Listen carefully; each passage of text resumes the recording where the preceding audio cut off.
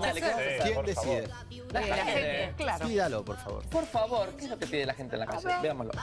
Muy bien. ¿Qué te gustaría que Ariel te cocine? Eh, pizza. Sorrentino con salsa rosa. Milanesa purita con fritas. Canelones de verdura. Pastel de papa. Tiene buena onda este programa, la verdad que yo cuando no paseo los perros lo veo. Ravioles relleno de pollo y verdura con ragú de carne y pollo. Hamburguesa de cerdo con papas fritas. Ay, qué bueno. Bravo, la gente. Muy bien, bueno, ¿qué, le la llamó la atención? ¿Qué dijo? Todo. Hamburguesa de cerdo con papas fritas. Milanesas también. Milanesas y demás. Vamos con las hamburguesas. Día viernes, Sí, va a haber sí, música. Me encantó. Bocelli desde Italia, tenemos de todo. Vamos con la música. eh, con la música. no. Voy a hacer hamburguesas, Sí. pan casero para Purita integral. ¿Vieron que Purita dijo entre el pan de harina blanca nada más o el integral? Mejor el integral. Sí. Bueno, vamos a hacer entonces los panes de harina integral, ricos, ricos, los pebetes, digamos, pan de hamburguesa.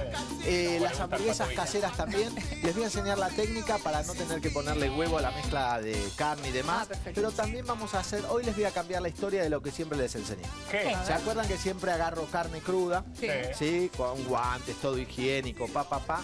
Y amaso la carne, la amaso hasta que se hace una bola. Sí. Está buenísimo porque no se desarma. Pero ¿cuál es el problema? No sé. ¿Cuál? El problema, el tumbling. ¿Alguien dijo tumbling? El- Muy bien. ¿Cómo? Está buenísimo, pero el resultado es que después las hamburguesas quedan más firmes, más duras cuando la comen. Sí. Hoy voy a enseñarles cómo se hacen para que queden, que se deshagan en la boca. Ah. El tumbling está bueno porque puedes incorporar agua, miga de pan, etcétera, etcétera. Pero por otro lado, cuando la hamburguesa está terminada, queda dura. Y hay gente que dice, no, a mí me gusta que la hamburguesa cuando la comes en el pan, medio se deshaga. claro. Entonces les voy a enseñar cuál es el tip hoy para hamburguesas. Y ya vas a tener todo, vos vas a poder decidir. Muy Madura, menos dura, lo que quieras, ¿ok?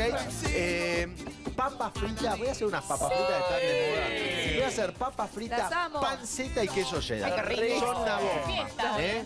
Pero muy purita que rica. lo mira por Estaban, ¿se acuerdan cuando fuimos todo el verano? Bueno, me vas a ir ¿Sí? llevando, ¿no? A la Obvio. costa. Eh, las Toninas hicimos, bueno, también aparte de Mar del Plata, también me Entre fui a Ríos Córdoba. Entre Ríos y demás. Dale. En todos lados. Con Rinaldi comíamos.